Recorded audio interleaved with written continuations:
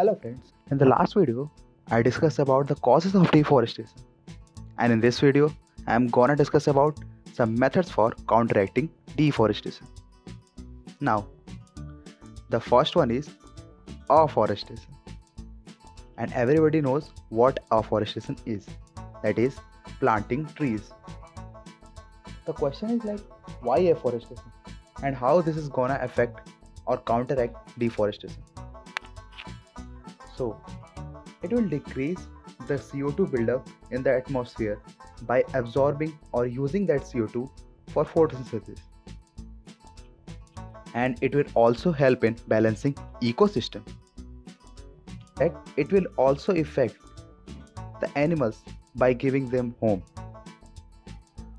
Now, the second method to counteract deforestation is reduce the use of tree products like paper and also try to recycle the tree products to enhance sustainability. Now, why reduce paper? So, since we know that paper is also a tree product and uh, if we continue to waste it, then deforestation will also continue and so is the animals extinction. So here are some ways to reduce paper.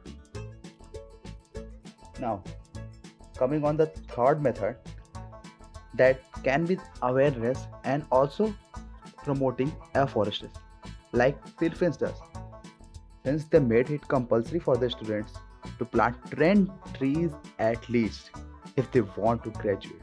Uh, but reforestation will not completely fix the damage though because unfortunately we have already diminished the population of many species to such an extreme so that they might not recover even with a massive reforestation effort.